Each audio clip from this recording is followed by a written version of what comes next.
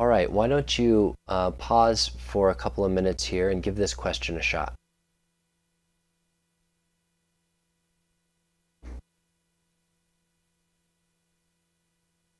Okay, the label on a box of cereal gives the mass of cereal in two units. 978 grams and 34.5 ounces. Use this information to find a conversion factor between the English and metric units. How many significant figures can you justify in your conversion factor? So first of all, the English scale is the American scale. So that's um, first point of confusion. Sometimes it's called the imperial scale, the imperial set of measurements. Um, and the English were the ones that created it. And um, in America, we just adopted that measurement set. And of course, the English in a lot of places abandoned that set too and adopted the metric system, but the Americans didn't. So when they say the English measurements or English units, they're talking about inches and uh, feet and miles and um, the units that we use in America. So to make a conversion factor, what we need to do is find a ratio between these two values. So we have 978 grams and 34.5 ounces.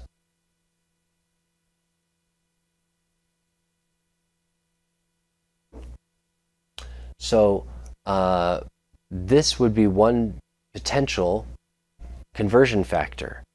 Um, but the uh, convention is generally to make one of these equal to 1. And the way that we would do that would be to just divide the two numbers.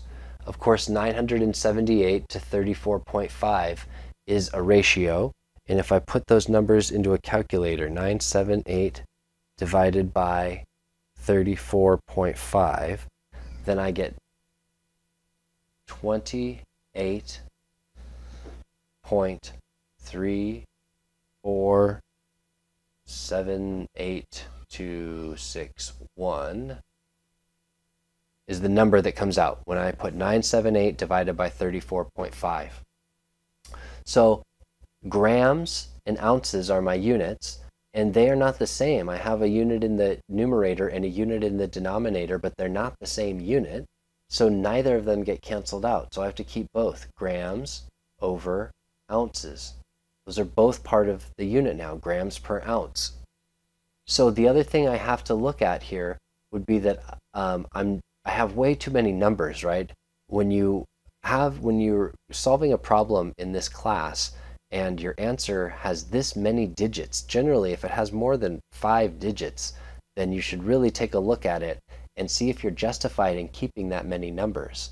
And the way you determine how many numbers you're allowed to keep is by um, analyzing the significant figures here. So let's look at our two numbers from our question, 978 and 34.5. This has three significant figures, and this has three significant figures. So that means I'm allowed to keep three significant figures in my answer. And so um, I'll keep the first three, and I look at this, the number, the first number after those three. So I'll keep the 2 8.3, and the 4 is smaller than 5, so that means I would round down. So then my answer would become 28.3 grams per ounce. Now, I could just as easily have flipped these numbers around because there's, um, depending on the situation, I uh, might need to know how many ounces there are per gram, for example. So I can just put 34.5 ounces divided by 978 grams.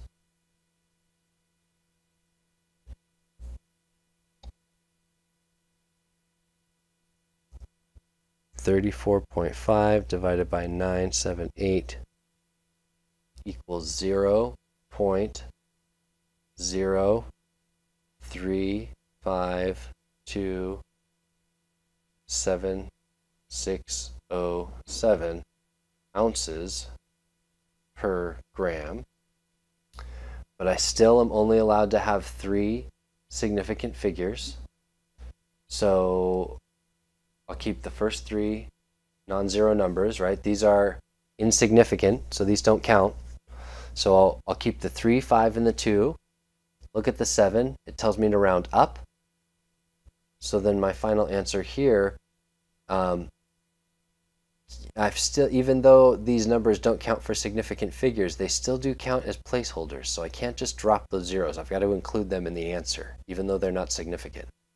This becomes 3, 5, 3, since I round that 2 up due to the 7.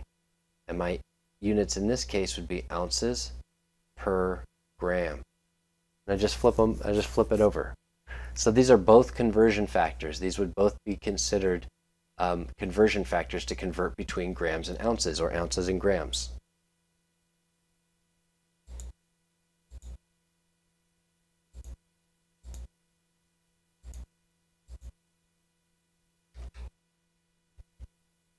A barrel of oil is exactly 42 gallons. How many liters of oil are in a barrel? So go ahead and pause it here and give this question a shot.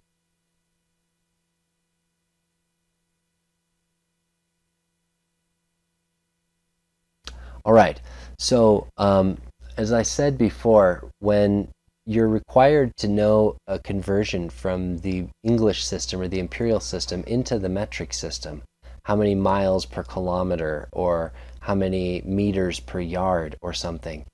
I will always supply this information to you. I don't expect you to memorize this information. All the information that's on this table here is information that I'll supply to you. So, um, another one that's on here is, uh, that's not on here, I should say, is that four, oops, four quarts equals one gallon. So we're going to need that one too. All right, a barrel of oil is exactly 42 gallons. So whenever we're trying to make a conversion here, we need to figure out a few things. We need to figure out what unit we're given. So 42 gallons. The number we're given is 42 and the unit we're given is gallon. We should always write these first in the numerator. So now we need to figure out what we're trying to convert into. How many liters of oil are in a barrel? So I want to go to liters. So I start a gallon and I want to go to liters. So if I look down here at my uh, table, I don't see a way to get from gallons to liters. But if we look at this piece of information I supplied, I can get from gallons to quarts, and then there's a conversion here that gets me from quarts to liters. So I can go from gallons to quarts to liters. So I need to change my map here a little bit. I can't get directly from gallons to liters. I'd go from gallons to quarts to liters. That'll be my map. So I'm going to move this down here so I don't run into my map. 42 gallons. And the first step, according to my map, is to go to quarts. So the way that I'm going to set this problem up is to draw a blank conversion factor here. And if I have gallons in numerators and I'm in the numerator and I'm trying to cancel that unit, then I need to put gallons in the denominator down here. And I know that I'm trying to, from my map, I know I'm trying to get from gallons to quarts. So if I've got gallons on the bottom, then I need to put quarts on the top. So if I set my math problem up like this, then the gallons are on the in the numerator and in the denominator, so that's equal to 1, so that will cancel out. So we always have to make sure that when we are drawing in our conversion factors here, that we're putting the units that we want to cancel in the numerator and the denominator. So now I've gone from gallons to quarts, but I'm not done because the question's asking for liters. So I need another conversion factor here. And if I've got quarts in the numerator now, in my first conversion, and I want to cancel quarts out, then I need to put quarts in the denominator of my next conversion factor. And now, according to my map, I go from gallons to quarts and quarts to liters. So my last unit up here should be liters. So now again, if I look at the way that I've set these units up, if I have quarts in the numerator and quarts in the denominator, then they're going to cancel out. And I'll be left with liters. Liter is the only unit that's in this problem that hasn't been canceled out. So that means that liter will be the unit that I'm left with. So let's put in some numbers according to our chart now. I think this is a really good way to approach these problems, to put in what you're given first over here, and then put in the units just like I did this time. I didn't even put in any numbers. I just put in the units to make sure that I, I set my conversions up correctly so that the appropriate units would cancel and I'd be left with the one that I wanted. So now that I've, I've got it set up right, now I can go back and fill these numbers in. And filling the numbers in is just looking at this chart down here and seeing which numbers go where. Well, this says there's four quarts equals one gallon. So I'll put the numbers like that, four quart over one gallon. Now I have to put in the numbers of my next one, liters and quarts. Well, I have two. I have one liter equals 1.0567 quarts, or I have one quart equals 0.94635 liters. Those are the same. It doesn't matter which one I use. So I'll just do this one. One liter equals 1.0 five, six, seven quarts. So as long as my units cancel, and I know that they do because that was the first thing I did was I set my units up right, then I know that the numbers are in the right place because I just pulled the numbers directly from this table down here. So the last step in this problem is to put these numbers into the calculator and actually solve it. So, let me pull my calculator up here. Oh, let me erase this. Map's in the way there. Okay. So, the way that we would do the math for this problem is I would put 42 times 4. See, 42 times 4 equals. And now I have to divide by what's on the bottom. I know it's a 1 this time, so if I divide by 1, I'm just going to get the same thing. But I want to just uh, go through this problem um, step by step, because sometimes that number on the bottom is not going to be a 1. So I go 42 times 4 equals. The answer divided by this number equals. The answer, 168, multiplied by this number, times 1, equals. That answer divided by this number, divided by 1.0567 equals. Whoa, Had a lot of sig figs here. Or excuse me, a lot of numbers, not necessarily significant though. Alright, so I'm going to move my calculator over here. There we go. Okay, so I know that not all of these numbers are going to be significant, so I'm just going to write a few of these here. 1.8, 158.985. That's plenty of numbers. So in fact, if I look at my question, this is how I would determine how many sig figs I can keep because it's the only measurement I have in my original question. So there's two sig figs in that number, so I get to keep two sig figs in my answer. So I keep the first two, and I look at this number, which is an 8, which tells me to round up. So if I round up, need this anymore, then this is going to equal, oops,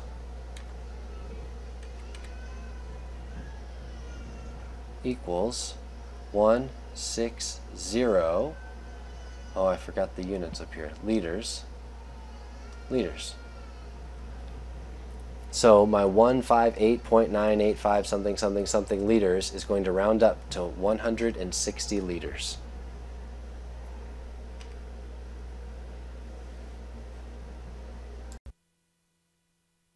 Alright, go ahead and pause the video again for a couple of minutes and take a shot at this one.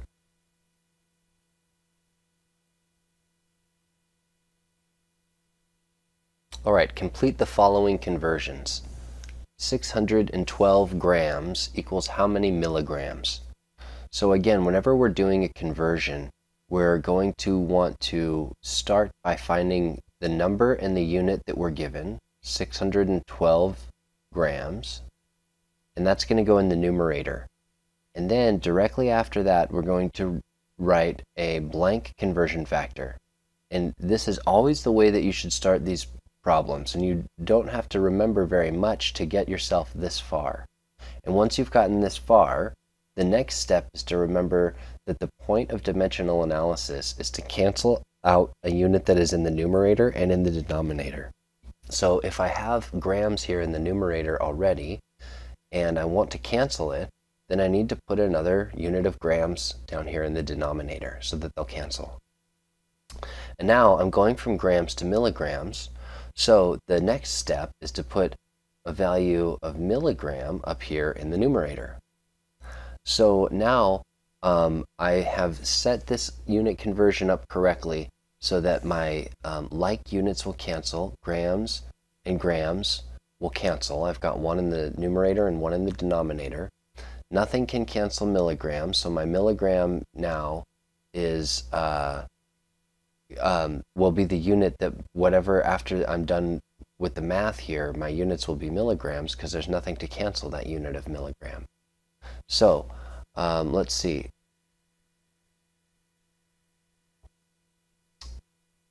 Um, the next step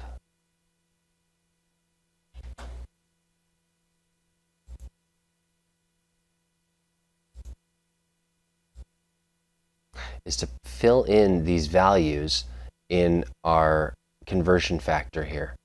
And so I have a table from the textbook that shows us the value of these um, unit prefixes. So here, this unit prefix, maybe I've made it a little bit too big here.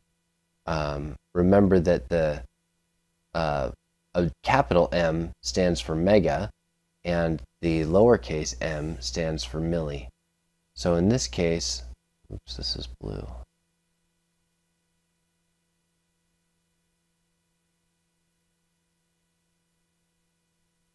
milligram, so make sure that that looks smaller. So um, we are using the prefix milli, so we should find that down here in our table. And it we see here that milli lowercase m is equal to a factor of 10 to the minus 3. So what that means is that this little m is equal to this number 10 to the minus 3. So if I have mg, that's the same as 10 to the minus 3g because m equals 10 to the minus 3. So mg equals 10 to the minus 3g m equals 10 to the minus 3. That's how we should interpret this chart. That whenever we see the prefix, I always have one of these. One milligram equals whatever this pre whatever this uh, multiplication factor is from the table. So one milligram equals 10 to the minus 3 grams. So that's how I'm going to read my uh, chart, my metric uh, prefix chart down here. So let's move this out of the way and solve the math here.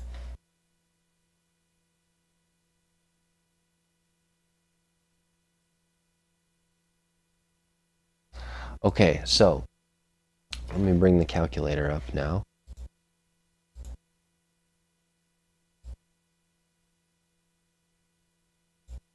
So here's how we're going to solve this one. 612 times whatever's on top times 1 equals divided by whatever is on the bottom.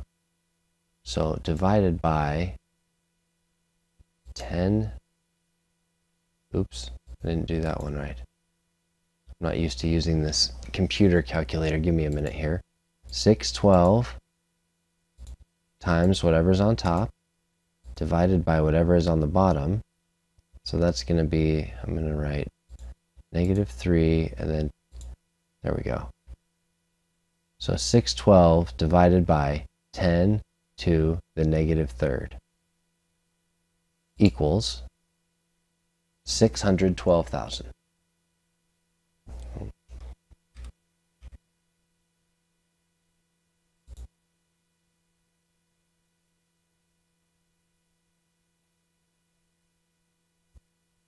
So um, grams is canceled, so my units are now milligrams.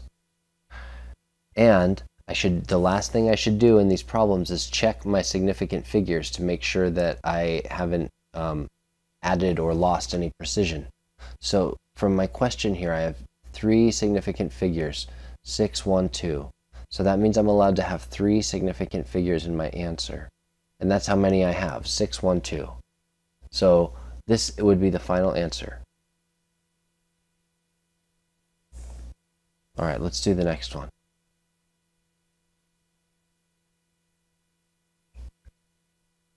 Here's the number that I'm given.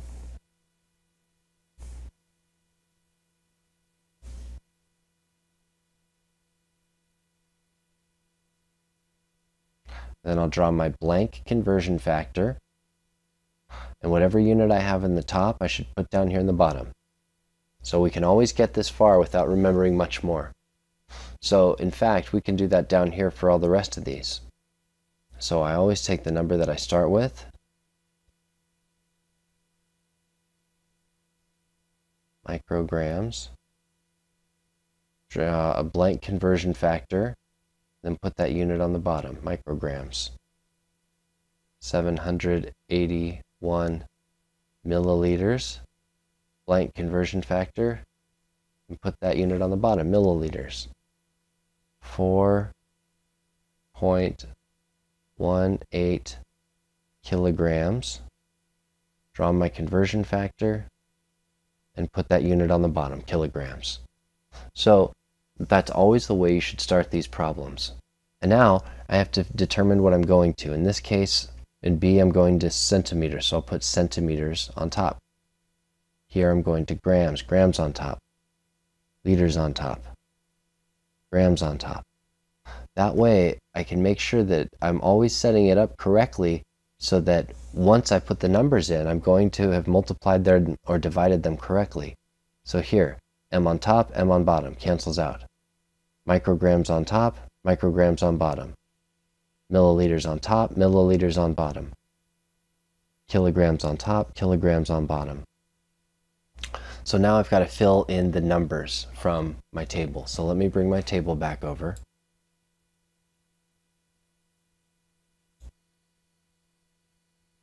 All right, now I've got uh, C, centimeter. Here's C. 10 to the minus 2. So remember that c equals 10 to the minus 2. So I'm going to have 1 centimeter is 10 to the minus 2 meters. All right, what about this one? Grams and micrograms. Here's micro. 10 to the minus 6 is the prefix associated with that.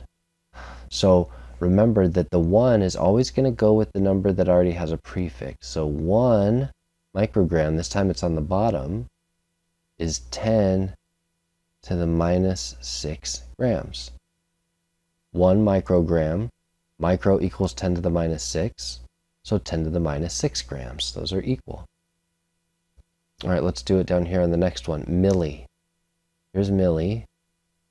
10 to the minus 3 so the number, uh, the factor always goes with the base unit.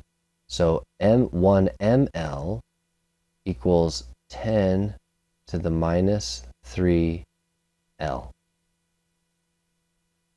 All right, and now the, the one on the bottom, kilo. Kilo equals 10 to the positive 3. So we're going to do the same thing here. 1 kilogram, 1 always goes with the, the unit that has a prefix. And the multiplication factor always goes with the unit that doesn't have a prefix, 10 to the third grams. All right, move this table out of the way here.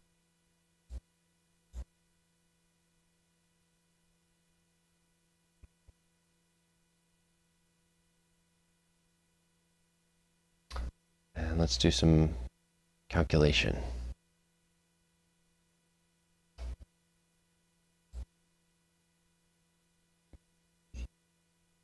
All right, I'm going to move it over here now.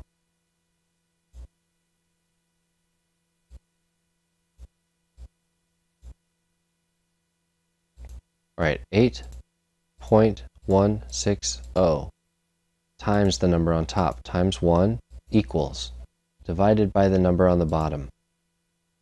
This is how I enter it on this calculator. 10 to the minus 2, and then I push this button, 10 to the x. And that shows it that I want to do 10 this caret means exponent, 10 exponent negative 2, which gives me this value. And I push yes, that's what I want to do. This equals 8. Uh-oh.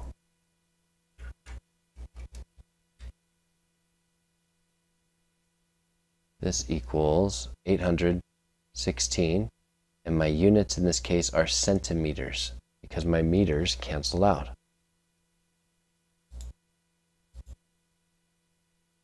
All right. Let's try the next one. 3779 times negative 6, then I push this button, 10 to the negative 6 equals 3779 times 10 to the negative 6 equals divided by the number on the bottom, divided by 1 equals